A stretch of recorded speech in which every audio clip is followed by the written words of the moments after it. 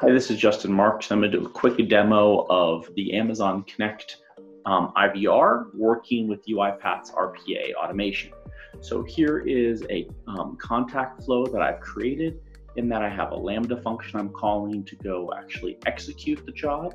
I take the outputs of that, um, which is a job ID, and then I loop waiting for that job ID to complete using an AWS Lambda function again to query that ID against the Orchestrator.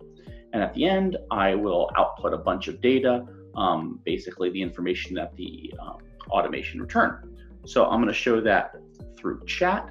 Here's a new chat session that I have.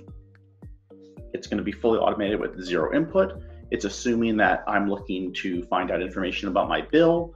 Um, You'll see here that it's checking about every second. I wasn't able to delay that loop, and that's something I'm following up on. But as soon as the automation is successful, it returns the date of the last bill and the total, which I, in this case, it was just a phone number. It could have been any amount that I looked at from a backend. Um, so that's a quick demo of um, UiPath and Amazon Connect working together. Thank you.